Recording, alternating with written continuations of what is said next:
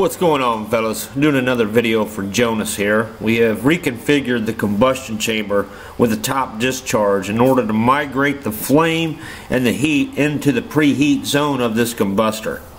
Turns out it's working out great. We've got a lot of top heat now and the combustion stability and the completion of combustion is almost 100% I would say running at this rate anyway. So Definitely a good place to hook up a superheat. The performance of this thing is just phenomenal. I mean, we're getting blue flame. You can't see it in the camera very well because it's washing out. But it has definitely all the colors you want to see. So, just by preheating the air, we're getting this. See how the top of the combustor is red hot now?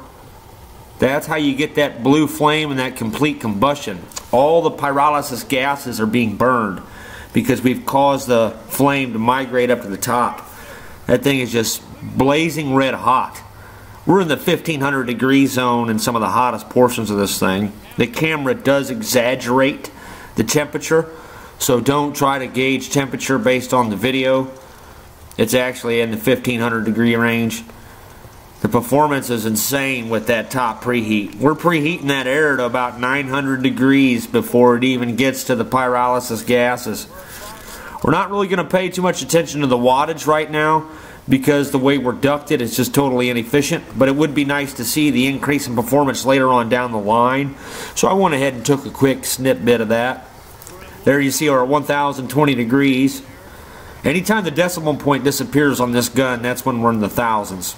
We're at 1048 there. 1600, 1700 degrees there. I'm sorry, I was wrong. It is over 1500 degrees. So that's really good for a wood fire for sure. Uh, waste oil flame struggles to hit 1800 degrees. So that's not bad.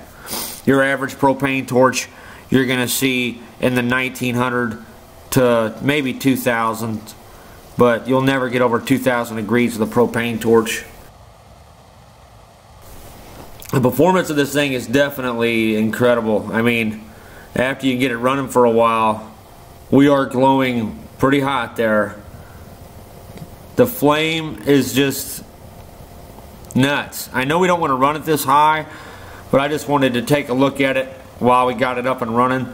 The discharge is too small, obviously. So now we know when we go to build the actual boiler that the discharge needs to be at least twice that size in order to get away with all that feedback we're seeing.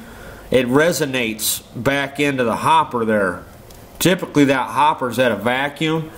And the reason why I say it resonates is because you can actually see the dust changing direction at like 60 cycles to 100 cycles a second. It's nuts. So we're definitely going to want to um, increase the discharge diameter. I'm going to do it by two. I think that'd be a good size. Twice that size. Now, maybe once it gets on down the line, it can restrict a little bit. We can always add coil to the discharge. So if we decide we're not salvaging enough heat out of the process, we can just do that. Man, look at that flame. That is just incredible. Now this is um, all attributed to the way we've caused that flame to migrate up towards the preheat zone. Before, we had zero preheat whatsoever on that incoming air. The top of that canister was in the low 200 degrees. You could almost touch it. And you look at it now, you know that air is getting a thousand degrees easy.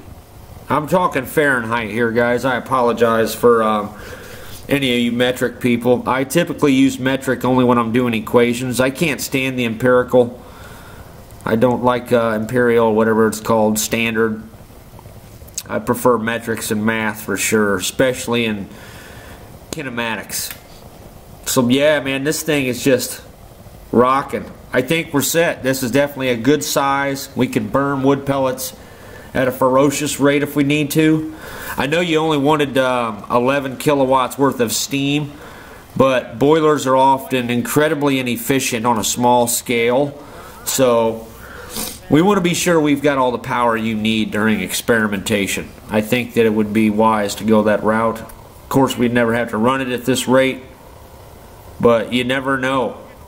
I mean, the temperatures you're wanting are pretty high. 500 degree steam at uh, 250 psi, I think it was, maybe. I'll have to check those specs again. I don't have them sitting here right with me, but I think this thing's going to do it. And as I said, we can always increase the coil on the discharge as we need to. I'm just I'm amazed at the increased performance of that of just changing that up.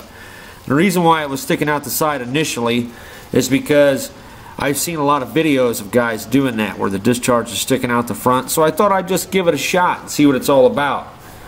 Well, there's really nothing good about it at all. It turns out they just haven't evolved yet to the top discharge. I used to do this like five, six years ago. I used to build these things to burn leaves and wood and books and stuff like that. Had a big pile of books I had to burn. Usually you can't throw a pile of books in a, a fire and burn them. These were like the types of books you didn't want to save. Trust me, they were of no value. Some of them were like uh, the types of books women would read, if you catch my drift, like porn novels and stuff. So I burn all this stuff and uh, it, it would completely burn the book. You can burn anything in a cyclone combustion system. This is also a great incinerator design. If you ever want to build an incinerator that can burn literally anything, even ash. This thing will burn the ash of the fire and vitrify it into glass. It's incredible. It sprays a lot of ash out, of course, as you can see. I'm just doing this because I'm starving to death and ready to get the test over, and this thing will literally burn for an hour if we don't just flush it out now. Plus, it's nice to see what a good charcoal fire can do. All the pyrolysis gases have been pyrolyzed out of the wood at this point. This is pure charcoal fire right here, which is also capable of an extreme amount of heat, as you can see. So, I'm about done babbling for now. I think I've said about everything I need to say. That's a wrap. I think uh, we're ready to look at designing the actual boiler off the information we've gained from this video.